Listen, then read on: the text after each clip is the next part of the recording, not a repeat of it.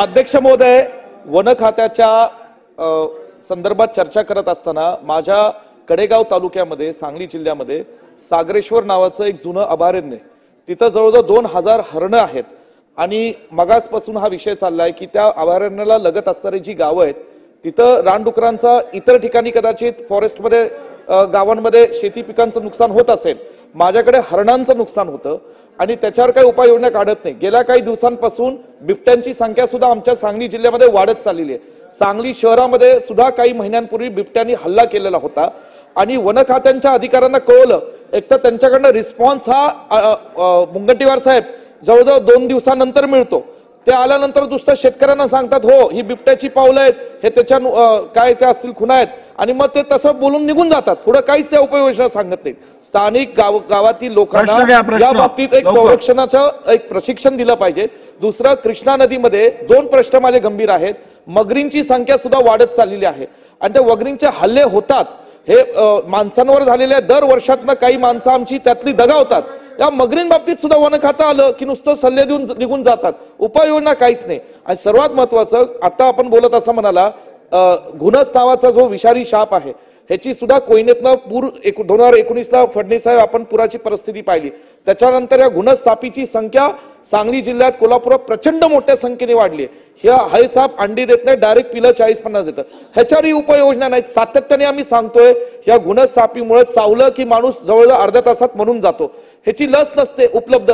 आता तुम्ही मगाशी मला सांगितलं हा नवीनच विषय मला कळला की साप हा वन खात्याच्या अंतर्गत येत नाही मग कशाच्या खात्यात प्रश्न अंतर्गत. येतो? तर ह्याच्या बाबतीत ह्या मगरींचा या सापींचा आणि जे आमच्या इथं. सागरेश्वर अभयारण्याचं जे नुकसान होतंय. प्रशिक्षण द्यावं कुंपण अध्यक्ष महोदय महत्त्वाचा विषय सत्तर टक्के कामं सांगली जिल्ह्यातल्या वन खात्याची जी काही कंपाऊंडची केली जातात इतर वन फॉरेस्टच्यात केली जातात ती एकाच कॉन्ट्रॅक्टरला दिली ही काय भानगडे चला, सत्तर टक्के. कामं आणि उर्वरित तीस टक्के. दुसऱ्या कॉन्ट्रॅक्टरला दिली जातात ह्याच्यावर नाही. आपण चौकशी करावी शेवटच्या प्रश्नाकडून येतो. आणि नाही, की पहिली गोष्ट कुंपण ठीक आहे उत्तर घेऊया उत्तर घेऊया. विश्वजितजी अध्यक्ष. महाराज कुंपण डीबीटीच्या माध्यमातून दिलं जातं मी आत्ताच सांगितलं की असं प्रकार होऊ नये म्हणून आपण डीबीटीच्या माध्यमातून देतो आपली जी कुंपणाच्या संदर्भातील तक्रार असेल ते तुम्ही डीपीडीसीतून जर दिली असेल तरच त्या कुंपणाचा हा प्रश्न होतो.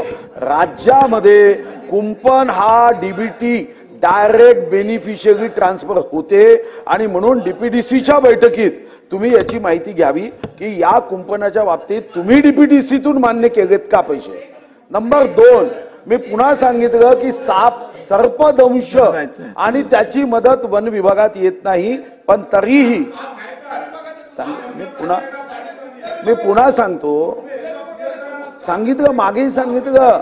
मला वाटतं मी पुन्हा सांगतोय तो पाळीव प्राणी नाही पण त्याची मदत वन विभागाकडून दिली जात नाही. पूर्ण देशामध्ये हा नियम आहे. आपण करू शकत नाही. कारण तो साप वन विभागात वनात गेल्यावर चावत नाही तो तुमच्या घरी चावतो म्हणून प्रॉब्लेम आहे. चला लक्षवेधी लक्षवेधी क्रमांक तीन.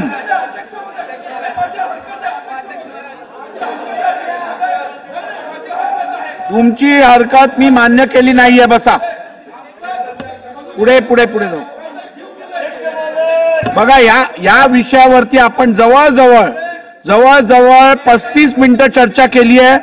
सन्मान्य मंत्री महोदय मला वाटतं या प्रश्नावरती या लक्षवेधीवरती अनेक सदस्यांना आपली भावना व्यक्त करायची आहे.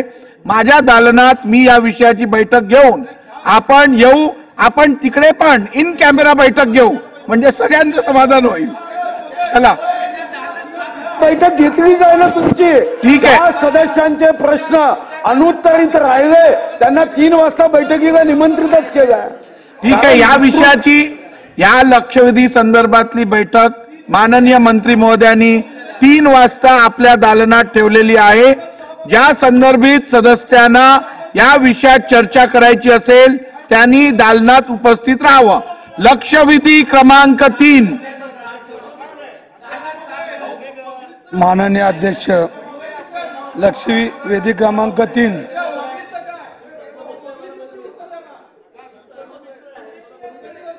हे बघा सर्पमित्र बसले. लक्षवादी क्रमांक तीन. आणि अध्यक्ष महोदय आणि सन्मान्य वितरित साहेबांना. सहाय्य करण्यासाठी आताच गिरीश महाजन साहेबांनी इकडे माहिती दिली आहे की ते सर्प मित्र आहेत. त्यामुळे त्या बैठकीत आपण पण उपस्थित राहावं. चला लक्षवेधी क्रमांक तीन. राज्यात गेली पावसाळी